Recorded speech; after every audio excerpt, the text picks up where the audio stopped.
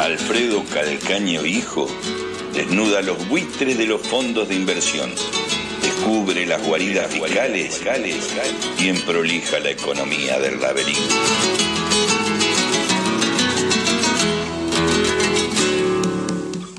En los últimos 250 años, industrialización y desarrollo han sido casi sinónimos.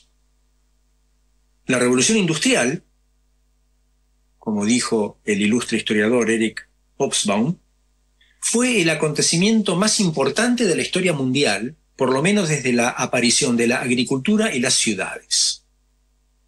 En un momento de la década de 1780 en Gran Bretaña, por primera vez en la historia humana, dice Hobsbawm, se liberó el poder de producción de las sociedades humanas, haciéndolo capaz de asegurar la multiplicación constante, rápida y hasta el día de hoy ininterrumpida de las personas, los bienes y los servicios.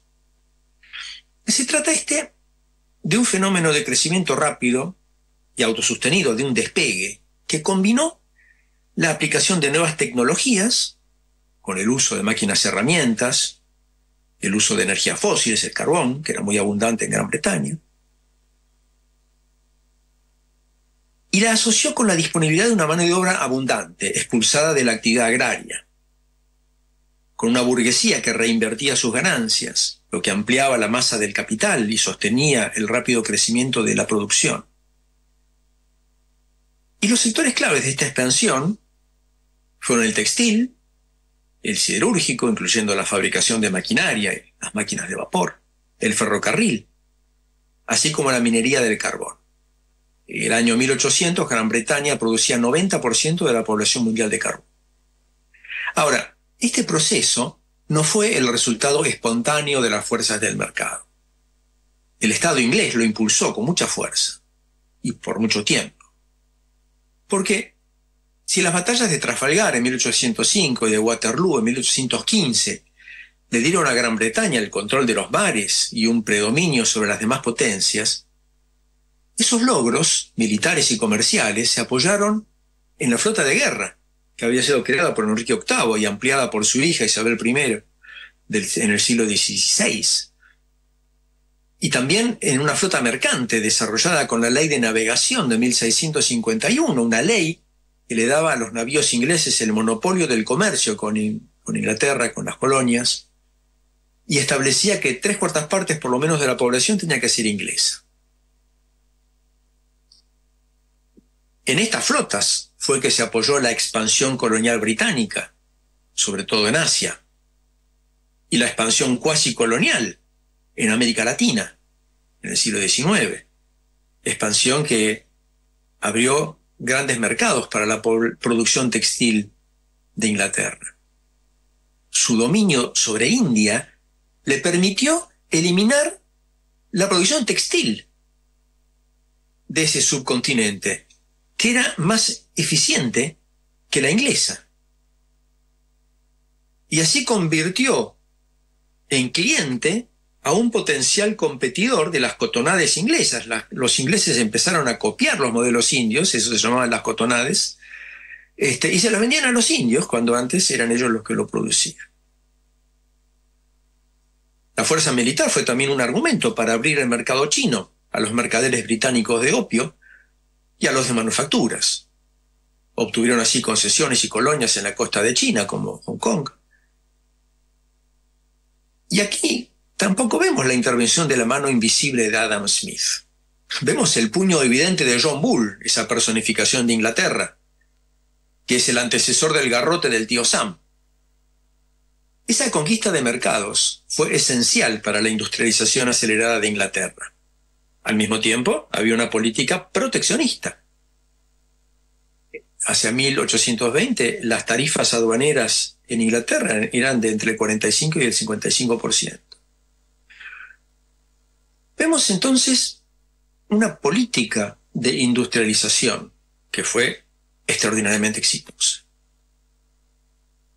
Y era natural que otros países que veían el auge económico inglés quisieran imitarlo pero les resultaba muy difícil crear una capacidad industrial si tenían que competir con las manufacturas inglesas. Y de ahí surgen las tesis proteccionistas, que impulsó en particular Alexander Hamilton, el secretario del Tesoro de George Washington en Estados Unidos. Y eh, se tradujeron con tarifas a la importación en Estados Unidos a partir del año 1800. Nosotros que estamos acostumbrados al discurso neoliberal de los gobiernos norteamericanos, los cultores del Consejo de Washington, este, que propugnan el libre cambio, nos olvidamos que este país aplicó tarifas de importación de entre el 35 y el 60% desde inicios del siglo XIX hasta fines de la Segunda Guerra Mundial.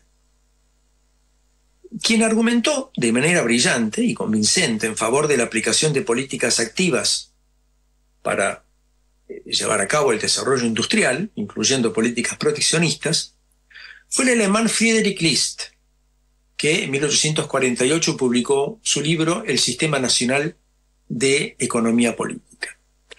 Esta autora había vivido en Estados Unidos y conocía las políticas de Hamilton. Y decía que era necesario proteger y estimular a la industria naciente, hasta que fuera lo suficientemente fuerte como para competir con los países más desarrollados. Se establecía así un paralelo entre la industria incipiente y un niño. Antes de enfrentar a rivales adultos, el niño tiene que, tiene que crecer, este, tiene que fortalecerse y hasta ese momento hay que protegerlo.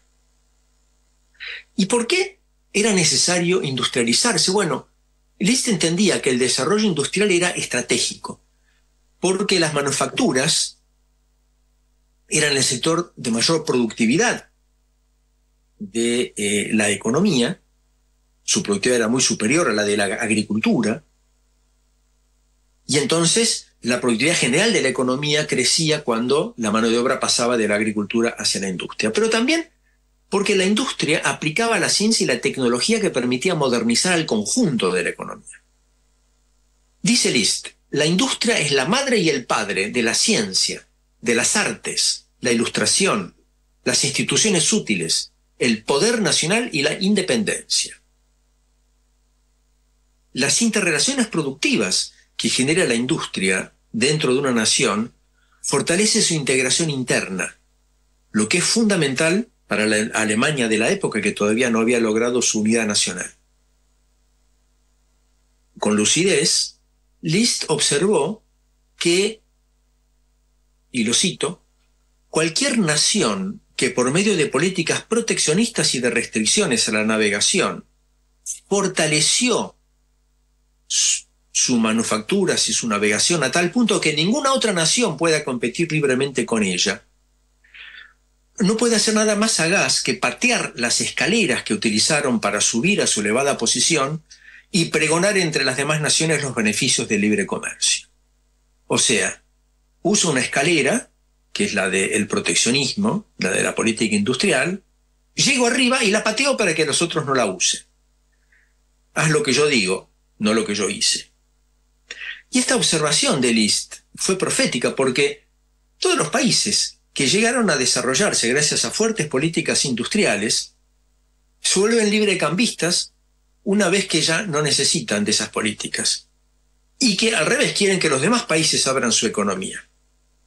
Basta con ver a Estados Unidos que pasó a ser de muy lejos la principal potencia económica después de la Segunda Guerra Mundial, y recién en ese momento redujo sus tarifas aduaneras, que ya no necesitaba, para impulsar la reducción de tarifas en los otros países, a través de organismos multilaterales como el GATT, el Acuerdo General sobre Tarifas y Comercio, o la Organización Mundial de Comercio, a través de numerosos tratados comerciales como los que trató de firmar con América Latina, el ALCA, o los que firmó efectivamente con varios países o grupos de países de manera bilateral. Y podríamos hablar en el mismo sentido de lo que hizo Japón, que a partir de la restauración Meiji se industrializó de manera acelerada con un protagonismo absoluto del Estado. Podríamos hablar de Alemania, de Rusia, que hicieron lo mismo a partir de las últimas décadas del siglo XIX más cerca de nosotros, de Corea del Sur y de Taiwán. Todos ejemplos de desarrollo exitoso basados en políticas industriales. y países que una vez industrializados se vuelven librecambistas, por lo menos en el discurso, por lo menos para lo que dicen ellos que tienen que hacer los demás. Pues bien, está ocurriendo en estos últimos años, sobre todo después de la pandemia, algo bastante notable. Porque vemos que los países más avanzados, empezando por Estados Unidos, pero también la Unión Europea, están redescubriendo las virtudes de la política industrial. Siguen, claro, con su discurso liberal para los países subdesarrollados. ¿No? Nosotros sí tenemos que seguir políticas aperturistas, no tenemos que hacer política industrial, pero ellos están adoptando de manera cada vez más abierta políticas proteccionistas. Están adoptando enormes programas de estímulo para reforzar sus industrias, su tecnología, su investigación. Y buscan así reinstalar en el país procesos productivos que se habían ido al extranjero, que habían emigrado en particular a China y a otros países del tercer mundo buscando eh, aprovechar una mano de obra más barata. ¿Y por qué están redescubriendo la política industrial estos países? Después de que ya eh, se habían industrializado, bueno, porque les apareció un rival. Ahora ya no pueden decir nosotros somos los más fuertes y entonces nos conviene un eh, terreno plano, ¿no? Una cancha en donde todos estemos eh, eh, jugando con las mismas reglas, sin que nadie tenga proteccionismo, sin que nadie tenga política industrial, este, porque en ese juego gano yo. Bueno, en ese juego ya no ganan ellos. Entonces, ¿qué hacen? Cambian las reglas del juego. Y en la práctica, vuelven a tener políticas industriales que en realidad nunca habían abandonado del todo. Siempre habían mantenido una política este, eh, para apoyar a su propia industria en Estados Unidos, en particular a través de el gasto público de la NASA, del Pentágono, a partir también de una política de eh, eh, socializar el riesgo empresario.